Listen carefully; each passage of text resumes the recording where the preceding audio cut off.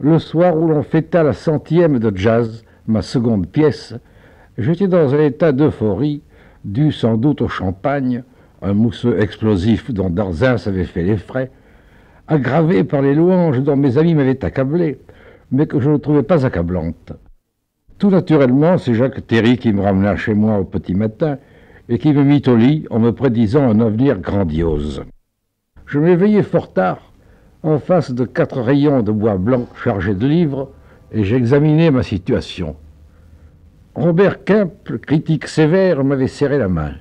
Franc Noin, l'admirable poète des chansons des trains et des gares, et qui devait un jour engendrer Charles Trenet et Georges Brassens, Franc Noin lui-même m'avait parlé longuement, comme un véritable auteur dramatique.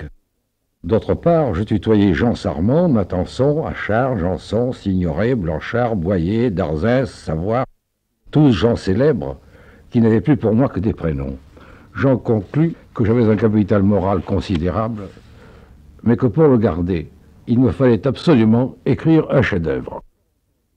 Je n'avais pas encore entendu la grande leçon que devait me donner dix ans plus tard l'adorable Vincent Scotto, qui créa sans y songer un nouveau folklore de la chanson, à deux heures du matin, sur un trottoir de la rue Blanche, et tenant à deux mains les revers de mon veston, il disait Surtout, surtout, ne travaille jamais au chef-d'œuvre.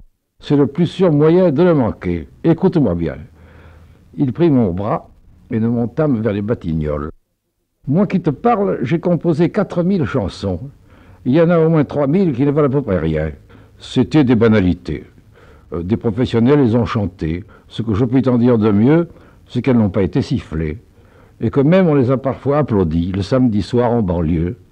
Puis, il y en a au moins 500 qui ont eu leur petit succès. Mais un an plus tard, on n'en parlait plus.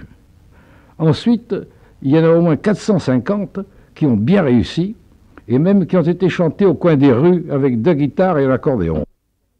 Finalement, il en reste une cinquantaine qui ont fait le tour du monde et qui sont traduites dans toutes les langues.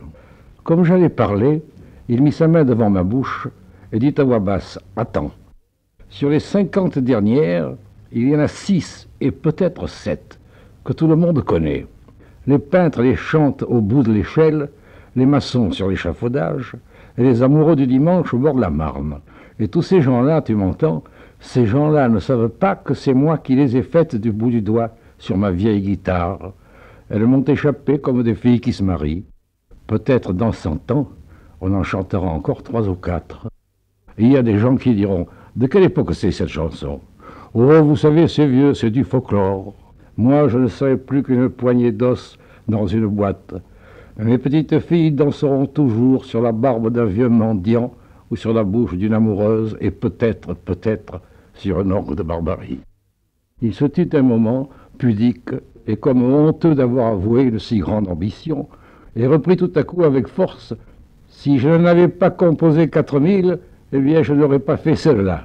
Viens, allons boire quelque chose chez Lamberti. Les deux coudes sur la table en face de moi, il reprit Moi, si j'avais connu la sérénade de Schubert ou la berceuse de Mozart, je n'aurais jamais commencé à noircir du papier à musique. Heureusement, j'étais menuisier, je ne savais rien, lorsque j'ai fait la petite tonquinoise, et je l'ai vendue pour un louis d'or. Toi, ton malheur, c'est que tu es trop instruit. Quand tu as écrit quatre répliques, tu penses à Molière, à Racine, à Beaumarchais, et tu te dis, à côté de ces gens-là, ce que j'écris ne vaut pas grand-chose. Mais qu'est-ce que tu en sais?